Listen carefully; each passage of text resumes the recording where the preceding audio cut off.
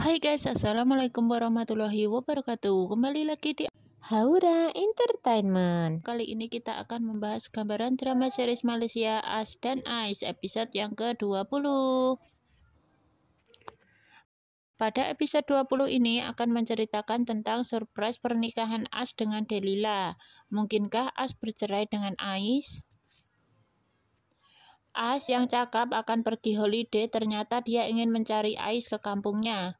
As menemukan Ais setelah dia istirahat di sebuah kedai dan makan donat buatan Ais. As mencari rumah Ais dan dia akhirnya menemukannya. Namun sayangnya Ais menolak As. Ais meminta As pulang dan tak ganggu hidupnya lagi. Bahkan Ais cakap kalau dia sudah tak tertarik dengan pernikahan mereka. Ais cakap dia ingin diceraikan, namun As takkan pernah mau menceraikan Ais. As cakap dia akan tunggu sampai Ais bersedia kembali. Namun sepertinya Ais masih dengan pendiriannya, hingga sampai Ais pulang ke kembali ke KL.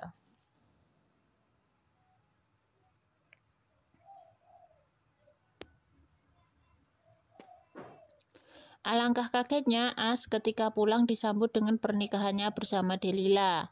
As tak bisa menolak meskipun sudah berbagai cara Aimi dan Aset membantunya, namun As tak bisa bawa pulang Ais. As tak ada alasan untuk menolak pernikahannya dengan Delila. Sepertinya pernikahan As dengan Delila ini takkan harmonis, karena Delila masih tak berubah. Gaya hidup Del tak sejalan dengan gaya hidup As.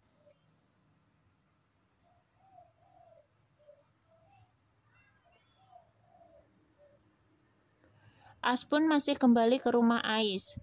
Ais sebenarnya sayang dengan As, namun dia tak mau meneruskan pernikahannya. Apalagi kalau dia tahu As sudah menikah dengan Delila.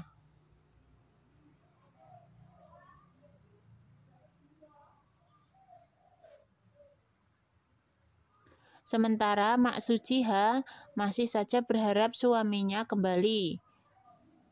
Sudah berbagai nasihat dia dapat dari tetangganya, namun dia tetap bersikeras berharap suaminya.